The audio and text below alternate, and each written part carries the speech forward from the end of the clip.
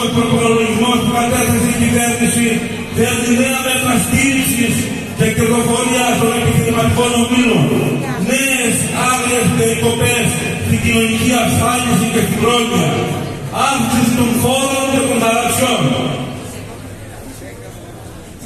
Αυτός ο προπολογισμός φτιάχτηκε για να αφαιρέσει από τους πολλούς την εργατική τάξη και να προσθέσει κι άλλα κέρδη Μονάχα τα θέλουν όλα δικά τους.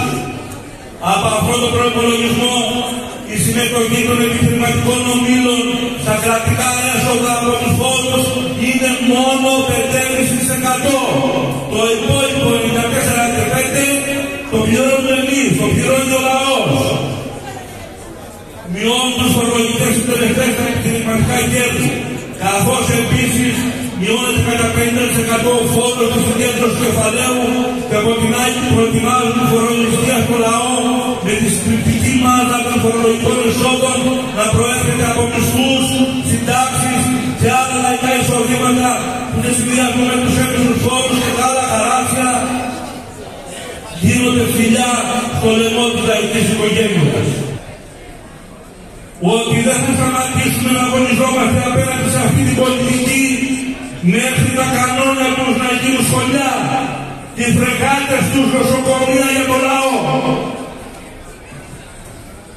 Συναδέλφες και συνάδελφοι, μπροστά στη νέα επίθεση που τους απολύεται πλάι στους ίδιους ακισμένους μισθούς και στις συντάξεις, στην τσάπα εργασία, στο δεκάωρο, στην απελευθέρωση της Κυριακής Αργίας, στο ζωγάρισμα των συντάξεων έρχεται και ο προπολογισμός που φέρνει νέες μειώσεις στο λαϊκό εισόδημα. Στην υγεία, στην πρόνοια, στην κοινωνική ασφάλιση, στις κοινωνικές παροχές. Τώρα που έρχονται οι γιορτές, χιλιάδες λαϊκά σπίτια δεν θα έχουν ρεύμα. Δεν θα έχουν θέρμανση όταν το κρύο θα είναι αφόρητο. Γιατί το κόστος είναι της βάσης για την λαϊκή οικογένεια. Δεν θα πει μισθός γιατί περισσότεροι είναι άνετοι και δεν θα έχουν στο τραπέζι ούτε τα αναγκαία. Αυτά λοιπόν αυτοί τα καλούν ανάπτυξη.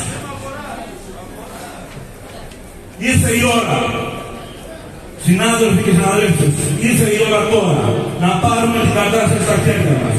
Να μην τους περάσει, να μας έχουν βούλους εγαλαίους.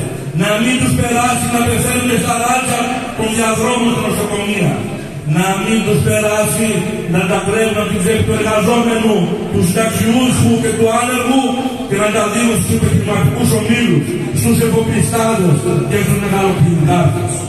Να μην τους περάσει να στείλουν τα παιδιά μας στο Σαχέλ ή οπουδήποτε αλλού για να υπηρετήσει τον ΝΑΤΟ, τον σφαγέα των λαών.